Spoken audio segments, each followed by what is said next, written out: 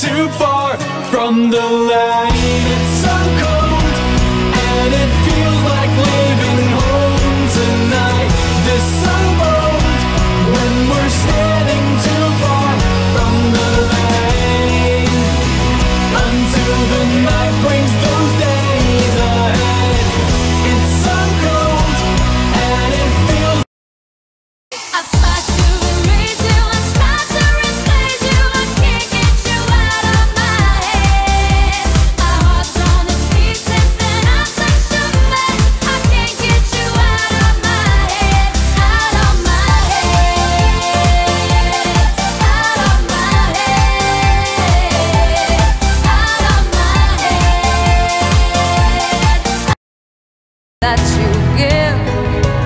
shadows that keep